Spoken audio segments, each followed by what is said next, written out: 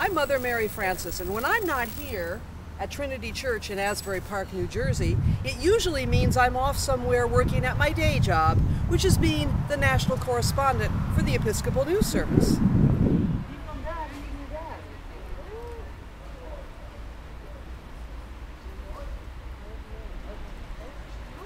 Hello again from Canterbury. It's Wednesday, July 23rd, and it is my day off. Could be the only day off I get while I'm here, so I've been making the most of it. I had a fabulous tour of Canterbury Cathedral, and I'm going to show you some scenes of that. And I ran into a very interesting street corner evangelist, and I want to show you a little bit of what he had to say to some young people.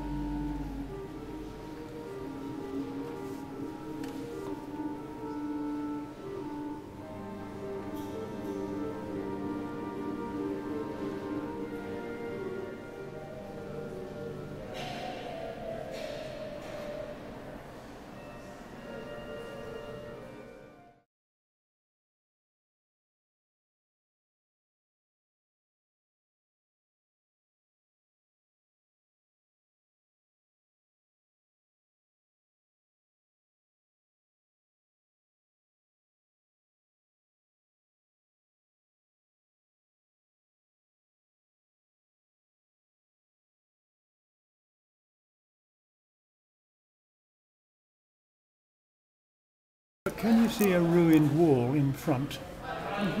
That is all that remains of the old Archbishop's Palace. And on that afternoon in uh, December 1170, Thomas Becket came out of his palace through there, he came along here, along here, and went in, as I told you, through that doorway. And the knights, they went along there, along here, and followed him in.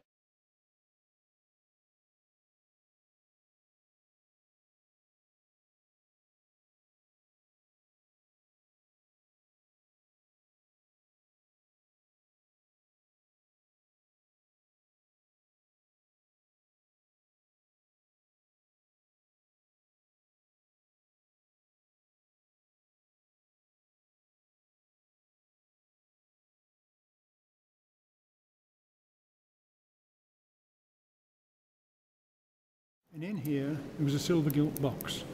And in the silver gilt box was the piece of bone that was the top of Thomas's head.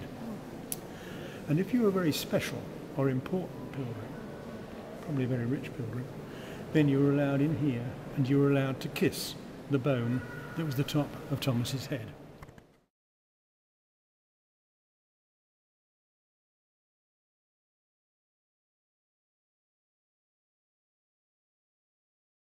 Jesus said, I've come down from heaven with, a, with, with this.